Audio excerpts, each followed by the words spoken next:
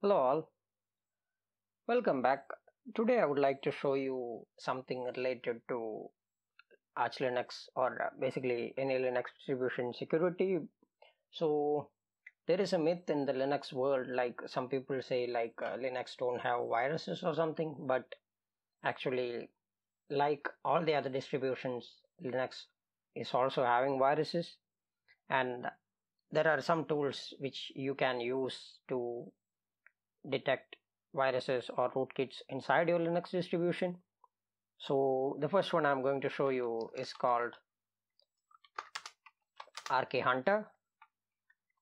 So RK Hunter or the rootkit hunter is written entirely in bash script. If you install with like it's available in all pretty much all distributions so you can use your package management system. So i'm on arch. So i'm using pacman. If you're on debian or ubuntu you can use apt or apt-get if you are on fedora you can use dnf like uh, same thing you can use uh, your distributions package management tool to install that. The next thing is uh, after installing rootkit hunter you have to use sudo rk hunter.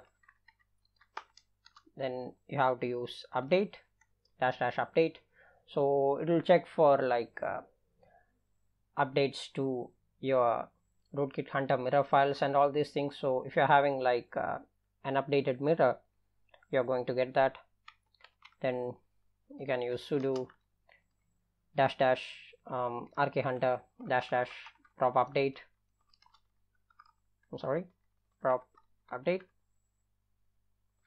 so if you do that it's going to download um, definitions for your RK Hunter. It's a good thing to run prop updates every now and then. So it's going to have uh, the latest like uh, database available rootkit database. So the main configuration file will be if I use a text editor the main configuration file will be inside slash etc and RK Hunter so now it's saying like uh, permission denied i need to use sudo if i do that it's going to give me a configuration script like configuration file. So if you need to make some changes like uh, this is like whitelisting so this will ignore all these files to avoid false positives and you can change like uh, how it works. Um, you can change your mirror location and all these things over here so I'm not going to do anything with that because the default configuration is fine for me. Then you can do sudo rk hunter dash dash check dash dash sk to check your system. So it will perform a full check on your system or your linux distribution for rootkits. So meanwhile it's running over there. I'm going to open up a new window. Let it like complete the system update. So the next thing we are going to do is I'm going to increase the font size a little bit. So we are going to install clamtk so if you install like clamtk it's going to also like install clam av the dependency for that. So I'm hit no because it's already installed for me. It's having like a graphical front end if you want to use that or else you can also use it from your terminal. So this is clamtk which is the graphical front end for clam av by default it's going to check for your updates automatically. You can use scheduler to customize the scan times like the update pattern and the scan pattern you can do that. And you can use heuristic scanning you can scan for potentially unwanted application. You can specify all the other scan options like if you want to do a recursive scan you can also specify that over here. You can update your databases. So currently it's showing my databases are outdated because I haven't done an update. Sudo clam tk and I'm going to the password so here you have uh, the scan options. If you want to scan a file you can do that. If you want to scan a directory you can do that over here.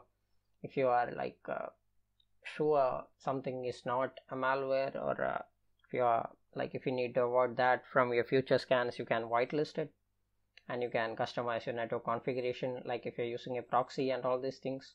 So this will be the quarantine where uh, removed files or the detected malware will be present and you have this update assistant where you can like set set options like you can ask for automatic updates or uh, you can specify it manually. Like if you want to check for updates manually you can do that. So if you need to use like uh, the non-graphical end of ClamAV you can use fresh clam to update ClamAV so I need to use super user again. I need to be a super user again. I need to enter the password. So it's going to download the database from the remote servers. So I'm not going to do that right now. If you are someone who keeps it minimal you can use it from the terminal itself. If you need to scan one file you can use clam scan followed by the file name or the file path if you need to scan like uh, recursively you can specify recursive flag. You can specify like for example slash home. You can do that. So it will do a recursive scan on our home folder. So our RK Hunter have finished scans. So it have checked for 432 so it's telling us the possible there is a possibility of uh, three rootkits present inside the system so the log will be available in this location. So I'm going to cat the log. I need to be a super user again. I'm sorry I have to do this again and again. The entire log you can check through that and if you are like suspecting it's a rootkit or something you can take the necessary actions for that. So I hope this one was helpful. I hope you all have a wonderful day